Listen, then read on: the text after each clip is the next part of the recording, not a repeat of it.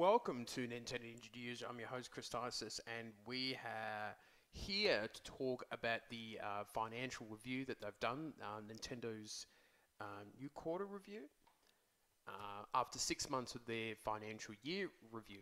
Now, the two main pieces of news out of it is that the Nintendo Switch has reached 22.86 million units sold, which is fantastic for them.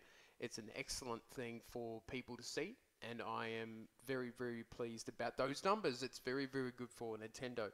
And it has also come to light that Breath of the Wild has actually passed 10 million views, which is another uh, great piece of news too. I'm pretty happy, and um, hopefully people enjoy that as well. So it's going to be very, very interesting to say the least about uh, what other stuff is coming out of this uh, financial report. And we will have that video coming up next for those interested in all the little details here and there. So that is it for me, and I shall see you later on.